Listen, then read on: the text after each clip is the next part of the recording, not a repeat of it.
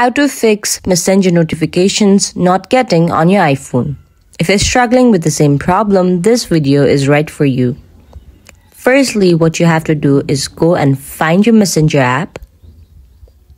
Once you find your Messenger app, go to your settings and tap on notifications and sounds.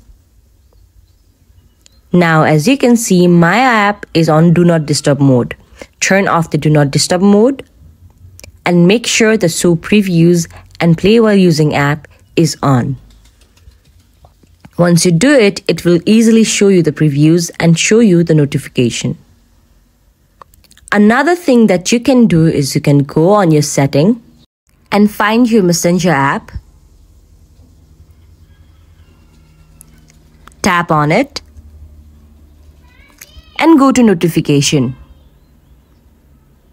Make sure that allow notification toggle is on. If it is not on, then turn it on. In this way, you can easily fix your issue on your messenger notification, which is not getting on your iPhone. If you found my video helpful, make sure to give big thumbs up and subscribe to our channel. Thank you.